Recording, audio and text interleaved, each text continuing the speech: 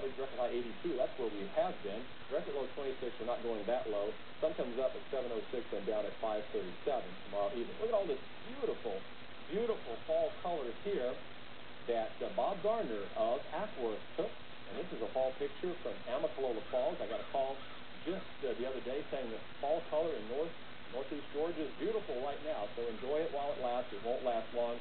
All these strong winds uh, blowing a lot of those colorful leaves off the trees. All right, let's check out our temperatures here.